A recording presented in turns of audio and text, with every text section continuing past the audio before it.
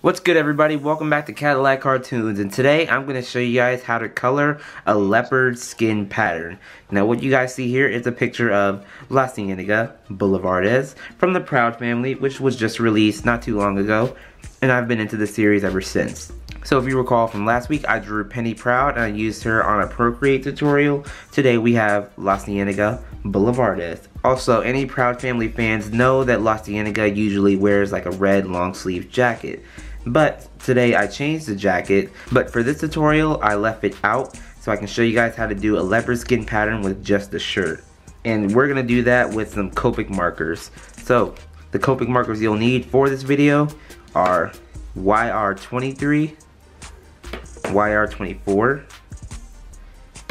YR27.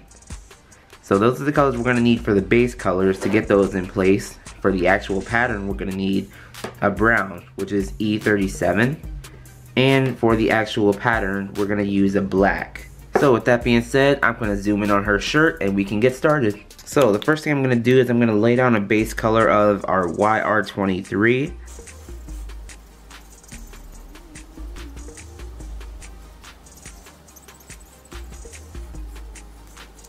Okay, and for our midtone, it's gonna be YR24 which is going to be slightly darker so I don't know if you'll be seeing it on camera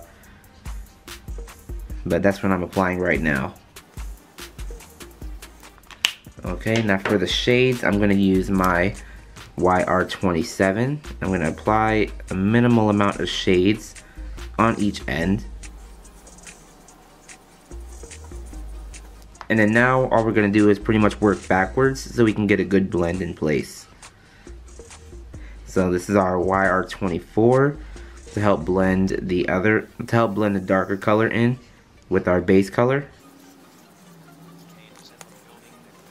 Alright, and to finish it up, I'm going to use my base color, which is YR23, and blend it all back together.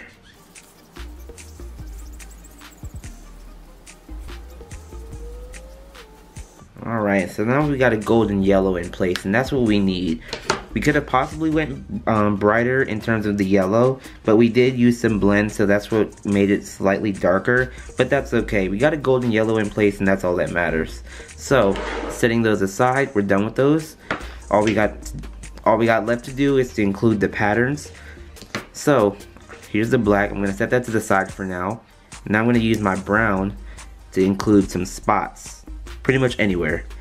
So I'm gonna use the brown and and really you can use your least dominant hand. Now I, I usually draw with my right hand. I can use my left hand to draw some spots because there's no definite shape for these.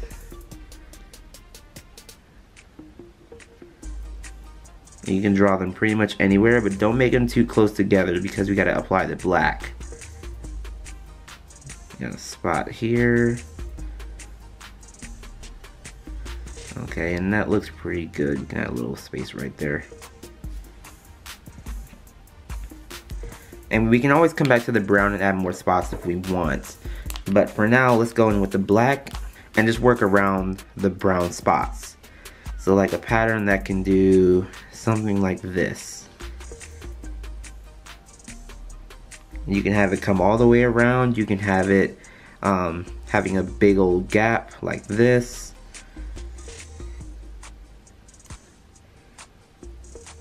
And it doesn't necessarily have to be around the brown. You can actually overlap the brown and do something like this.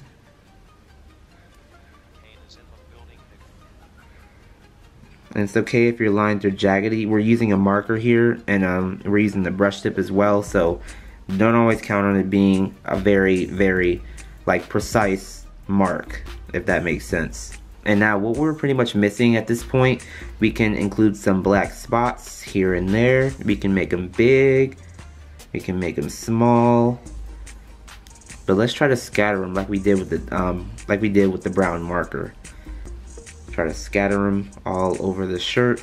And then any other spots that we can fix, we can do that now while we still have the black. And like I said, we can always come back to the brown. Um, there is a tiny space right here that I want to fill in. and then just go in with the brown and, or black I meant, and fix that up. But anyways, that's how you draw a leopard skin pattern. Let me zoom back out so you guys can see the entire illustration. So this is for any Proud Family fans out there. If you want to see La Cienega in a leopard skin pattern, here you go. But that's pretty much how you do it. Super easy, super simple. And of course I used multiple colors for this illustration which will pop up somewhere on the screen. But there's my drawing on La Cienega Boulevardez. If you liked the video or found it useful, give it a like and a comment. Subscribe if you haven't, and tap the notification bell so you never miss an upload. And I'll see you guys in my next video.